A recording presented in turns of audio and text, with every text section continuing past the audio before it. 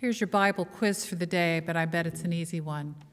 Say it with me. For God so loved the world that he gave his only Son, that whoever believes in him should not perish, but have eternal life. And the next verse For God did not send his Son into the world to condemn the world, but so that the world might be saved through him. We can't really understand the fourth chapter of John's Gospel without looking at the third chapter of John's Gospel and the stark contrast between the two. Jesus said that to a man in the third chapter who had come to him under the cover of night. His name was Nicodemus. He was a Pharisee. Not a Pharisee who was out to get Jesus, a Pharisee who was seeking the truth, but he came at night because he was afraid of the other Pharisees and what they might do or say about him should they know that he went to talk to Jesus, this radical man that had been upsetting all the Jews in Jerusalem. And Jesus says this to him and also tells him that if he wants to really know what God is, he has to be what? He has to be born again. Now we go from that to chapter 4, which, if you've heard sermons about the woman at the well, you've probably heard sermons that talk about her like she is one of the shady ladies of Scripture. She's there at the heat of the day because the decent women go there when the sun comes up and it's cooler. They go in the cool morning time, and she has to go in the middle of the day because she's such a bad woman. She's such a tainted woman. She's such a floozy of Scripture. Anybody ever hear a sermon sort of like that or a teaching like that? And that Jesus forgives her? Nowhere in the passage does he forgive her, but he does some other completely unexpected things in this passage, doesn't he? It's one of those stories that we've heard so many times that it's so familiar that sometimes we take it for granted and kind of half listen and think about what we're going to have for lunch later on this afternoon. Or if you're trying to stay awake, you're fighting yourself right now to keep awake. But this is a woman who has had how many husbands? Do you remember? Five husbands and living with a man now. Well, what does that make her? We all have a word in our head, right? Maybe a prostitute, maybe an adulteress. Now, it makes her a woman in the first century, probably a barren woman, to be honest, because she had no choice. Now, remember, if a woman was married and her husband died, what did she have to do under the law? marry his brother so that she might produce a son that would be the son of the original husband. And if he died, she'd marry the next brother, the next brother.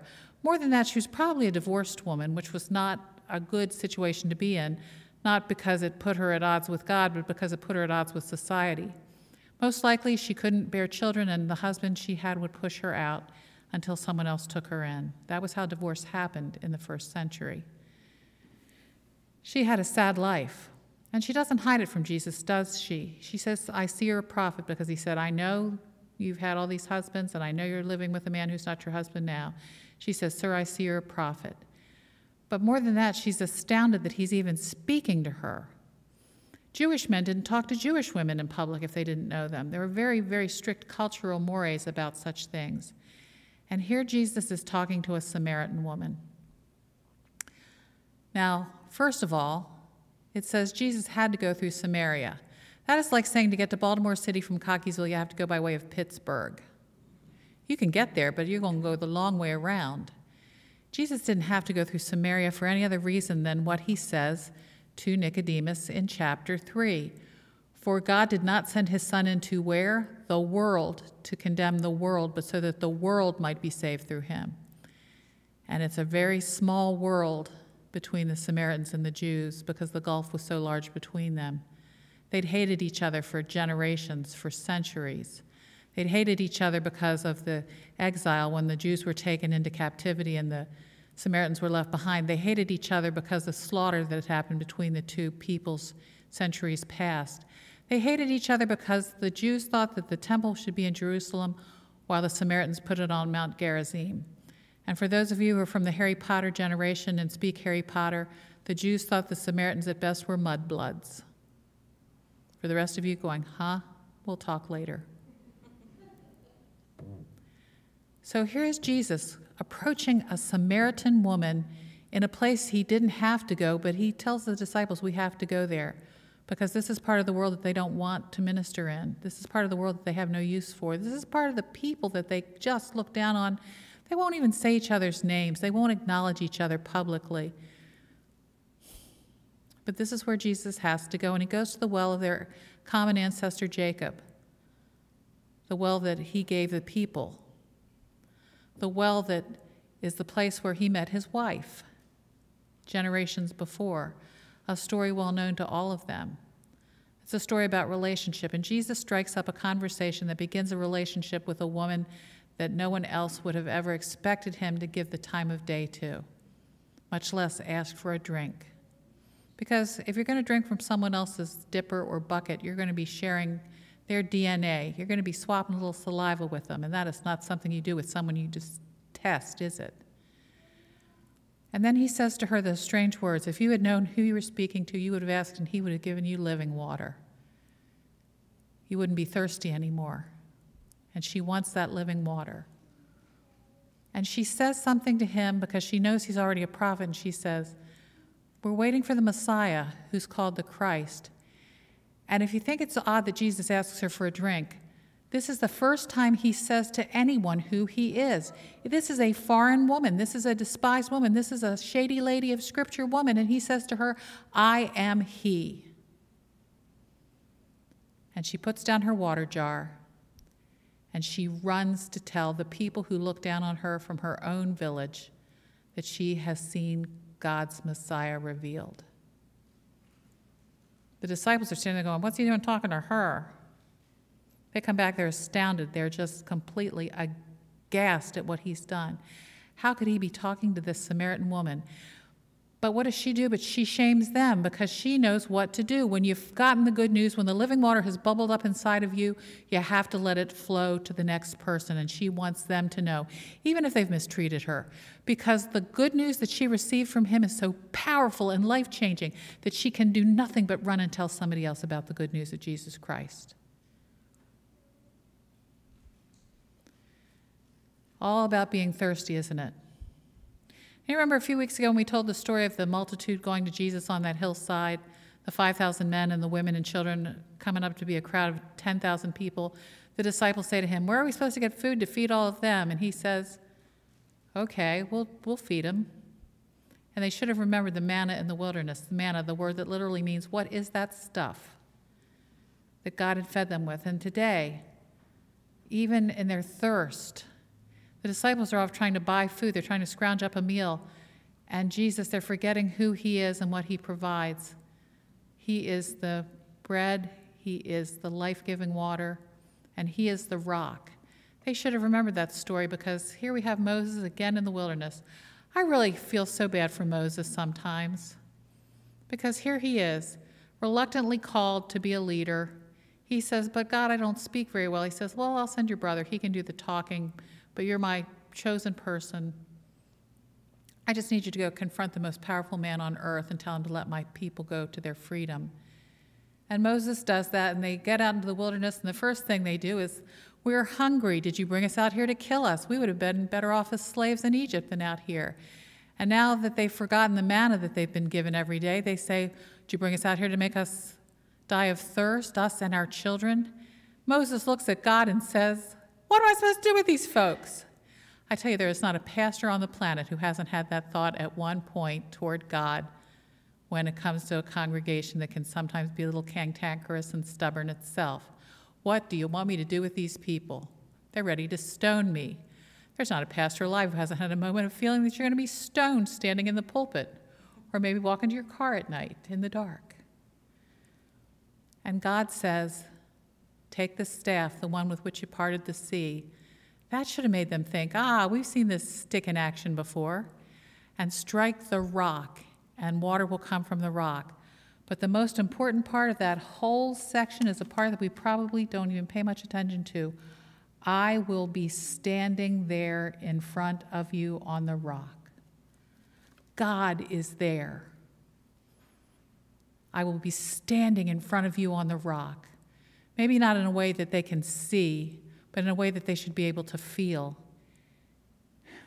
Now, he calls the place Massah and Meribah, talking about bitterness. And what is it that the people are saying? Is the Lord among us or not? We've just come through a terrible year, haven't we? Anybody enjoy this last year? I think I know three people who said, I've liked staying at home all the time and just kind of living in my jammies and being on Zoom. Thinking, what's wrong with you? But everybody has their own thing. But have we not had moments of thinking, is God here or is God not with us anymore? Because as people die and get sick, and as it goes on and on and on, and as people start to argue, we start to lose hope. But that's when we have to remember to eat the bread and the water, drink the water. Now, for us in our culture, usually bread and water is the beginning of a meal in a restaurant, isn't it? The world is divided into the people who hold off the bread and the people who indulge. Which side are you on? When the bread comes and they put it on the table, how many of you say, I'm not going to eat that, I'm going to wait for my meal to come? And how many of you give in and say, Ooh, there's hot bread? I went out to eat just a couple weeks ago with a friend of mine. We went to a seafood restaurant that gives you big, huge portions. We were both hungry. They brought bread and put it on the table, and we said, Oh, we don't need that. And they said, No, it comes with everybody's meal. They said, And it's our special honey cinnamon butter. We sat there for just a moment. There were three rolls, two people. And he said, Let's just have half a roll each. We had half a roll. Then we had the other half the roll. And he said, I'll split the last one with you. And we ate it. We didn't need it, we ate it. Bread and water for us is something on the side, but we got to remember that these are people who never got enough to eat and rarely got enough to drink, and what they got to drink was not all that clean. If you ever pulled water up out of a well and looked at it without a filtration system, you know what I mean. But Jesus is giving them bread and water in abundance to feed their souls for that deep down spiritual thirst that they were experiencing. So, what do we do when we get to the point where we say, either, God, what am I supposed to do with these people, or is the Lord with us or not? We've got to go feed ourselves on the bread of life and drink from the life giving water that bubbles up in our souls to eternal life. For John, you have to understand salvation isn't something you experience when you die. And too many Christians, I say this all the time, wait until they're dead to ever realize that they're alive. Salvation begins the moment you understand the depth of God's love for you in Jesus Christ, and it's a life changing moment because it makes you feel welcomed and loved and embraced and included, something the woman at the well had never experienced because she was born a barren woman in a culture that let her be handed from man to man to man. And here he is, the Messiah. The first time he says to anyone, This is who I am, it is to this woman, and that says so much to me because in my need, in my brokenness, in my sinfulness, I have Christ who comes to me. I have God who stands at the mountainside. I have Jesus Christ who is the rock, who is always welcoming me and calling me home.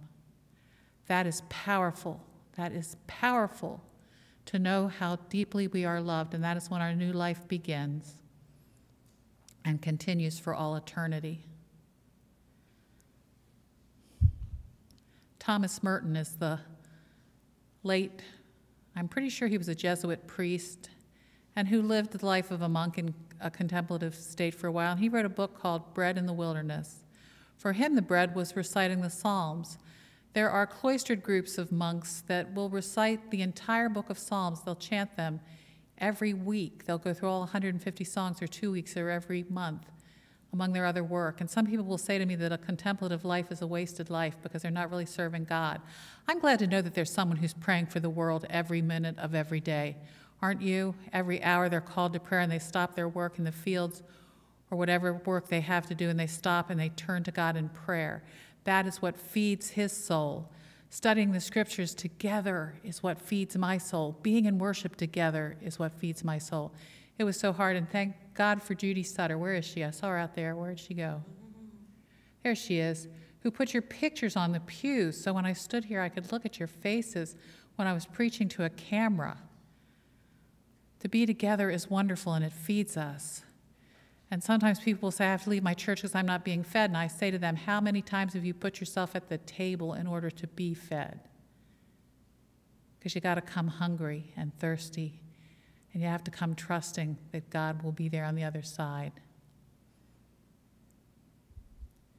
We've got to look for God in each other. We've got to look for God in the world around us because God is already there. God said, I will be standing before you on the rock. And Jesus Christ is the rock. What more do we need, folks?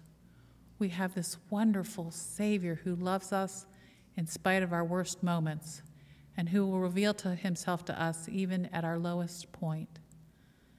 So maybe you felt like the woman at the well. Maybe you feel like you have to go in the heat of the day. It wasn't that she went in the heat of the day because she was embarrassed. She went in the bright sunlight. Nicodemus was a religious insider. He was a Jew who had to go under the cover of darkness. But with her eyes wide open in the bright light of day, she says to Jesus, I know you're a prophet, and we're waiting for the Christ. And he says to her, This is who I am.